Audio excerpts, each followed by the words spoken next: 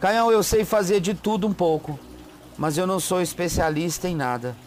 Me sinto perdido na Tá vida. na profissão certa, né? Já tentei. Você sabe que a profissão certa agora é, voltou a ser o generalista É o tudo um pouco? e é o sintetizador.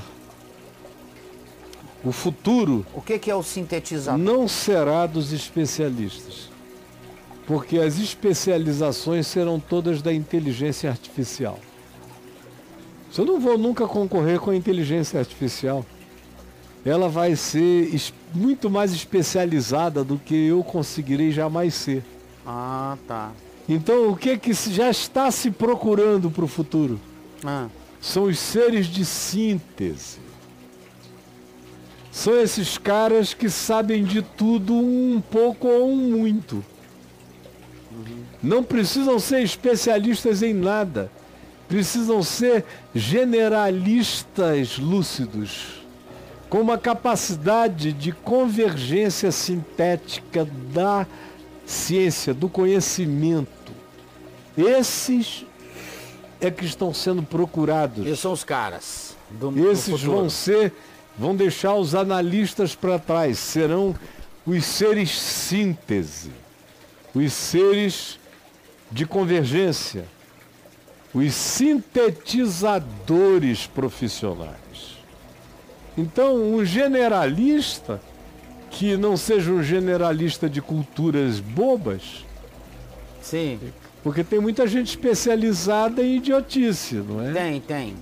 Você sabia quantas pernas tem uma abelha tal, diferente É, da não- abelha tal? Isso não tem muita É, importância. quantas abe quantos gafanhotos havia em Israel nos dias de João Batista? Você sabia que talvez ele comesse o gafanhoto tipo tal?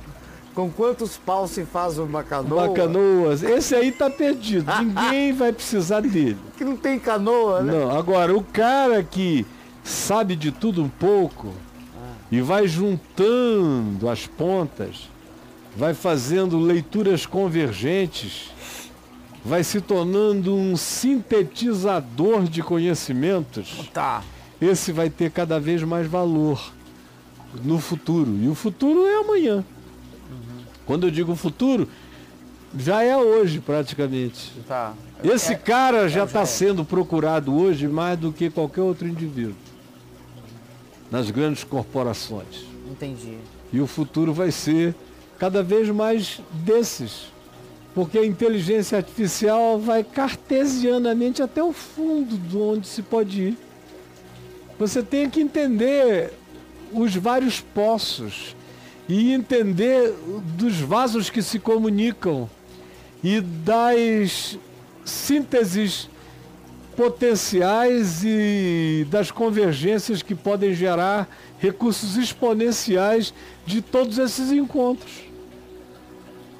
Esse é o indivíduo, essa é a inteligência, esse é o conhecimento útil hoje, mais do que no passado, porque o passado já foi dos generalistas lá atrás. tá, lá atrás. Depois se tornou, durante alguns 30, 40 anos, dois especialistas. E agora será o presente e futuro dos sintetizadores de conhecimento múltiplo. Esses serão os indivíduos mais qualificados, de modo que o nosso amigo ele, ele só tem que transformar o generalismo dele sem propositura, sem proatividade, sem a agressividade do saber, transformar isso tudo em algo que tenha um projeto. Eu sugeriria a todos os generalistas, os que têm capacidade de guardar muitos conhecimentos variados, a se tornarem pragmáticos na aplicação deles. E logo, logo os doutorados e os pós-doutorados vão ser em, em conhecimento sintético. É porque é muito específico. É, em ciências sintetizadas, Aham. aonde você não vai precisar ser o maior especialista de nada, mas você vai ter conhecimento de muita coisa e vai conseguir juntar aqueles potenciais em soluções, Tá. transformar em soluções. E o pouco é necessário, talvez uma coisa só, vai pra onde aí, Caio?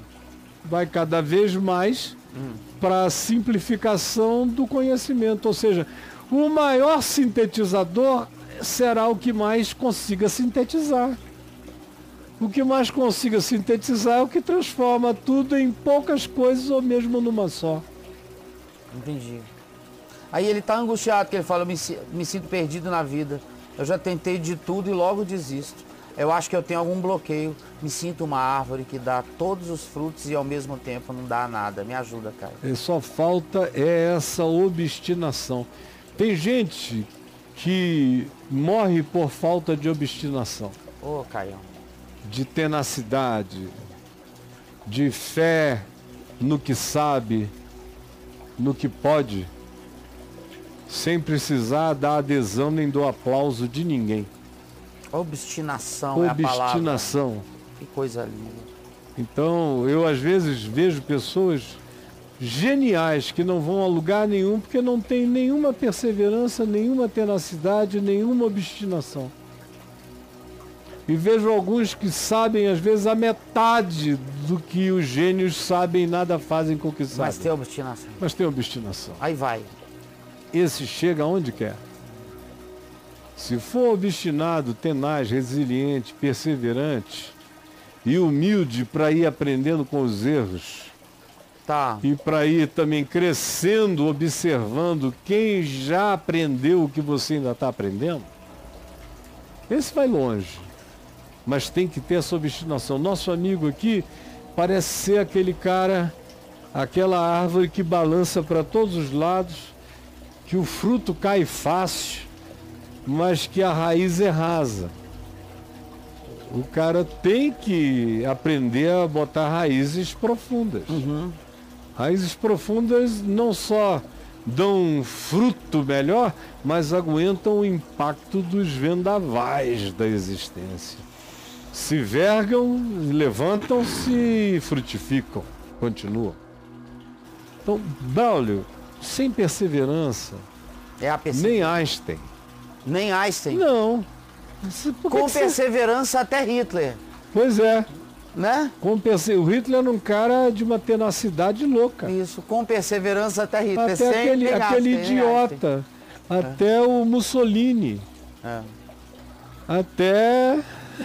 Não vou dizer não. Até logo. Até logo. Até 2000 e... e- Até logo, gente. Acabou, boa. cara.